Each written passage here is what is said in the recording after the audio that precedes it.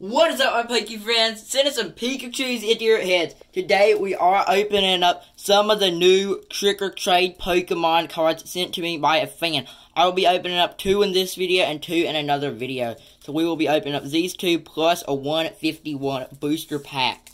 But let's go ahead and start off with Trick or Trade. I am trying to pull Pikachu out of this. And also, there is a cool Gengar in there as well. So here we go. I'll see what the pack, I don't have no idea what the pack trick is. We got Dusclops right there.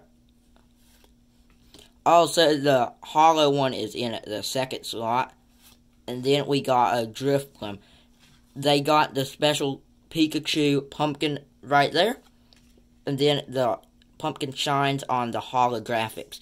So, there's our first ones right there. And now I know where the holo is. It's in the middle go ahead and open up this second one right here and see what we can pull out of this one.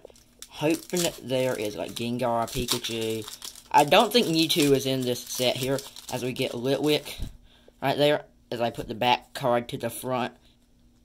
We got the Mismagius. They are doing Scarlet and Violet and Sword and Shield cards in this. Litwick, Hey, and a Houndoom. Okay, so we got a holo from Scarlet and Violet and a holo from Sword and Shield. Not bad. So let's go ahead and open up this 151 booster pack right here. So let's see what we can pull out of here. Up one to the front. Grass Energy. Hey, we got Grass Energy. We got Ekans. Cubone, Vulpix, Magnemite, Rigid Band, Graveler, Protective Goggles, Kingler, Nidoran, and an Omastar.